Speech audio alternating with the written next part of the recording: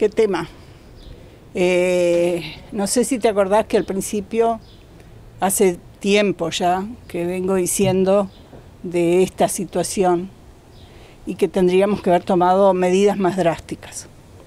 Este, no sabemos, el ministro Salinas iba a informar sobre el tema de la vacuna este, a los integrantes de la bancada, tres integrantes de la bancada del Frente Amplio, quedaron de reunirse hoy en el ministerio y dio marcha atrás. Se ve que le vino la orden del presidente que no se reuniera. Este, lo que es lamentable, porque esto es un tema de todos.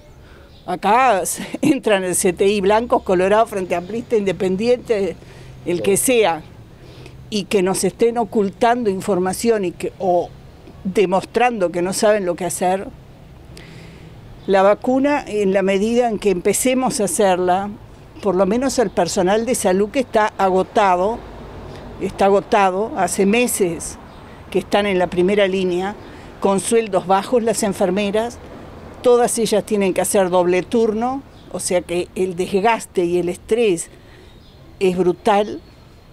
Ahora, ahora a esta altura se les ocurre a ACE contratar 300 funcionarios más y entrenarlos este, rápidamente para atender, atender un CTI, una locura. Una locura. ¿En este, particular aquí en la frontera? La Santa Casa está llena, no tengo información porque no pregunto, no, no me corresponde. No sé los CTI de Comer y de Casmer y de ACE cómo están, de pacientes de otras patologías más los COVID. Lo que sí es que si a ti se te mueren siete en un día, son 10%, quiere decir, eh, cuando se murieron los 11, ¿verdad? En 712 positivos, hay algo mal, porque es un 10%, o sea que si se mueren 11, eran 1100 los casos positivos.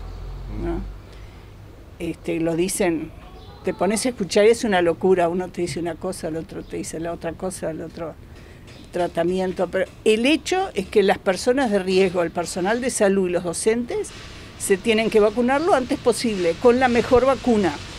Dejar la parte ideológica de lado, que la rusa no, que la china no, que la americana sí. O sea, la americana eh, también tiene sus complicaciones y sobre todo tiene el gran problema que tiene que ser guardada a menos 70 grados, cosa que Uruguay no tiene este, infraestructura ni logística para desplazar a menos 70 grados la vacuna por todo el país.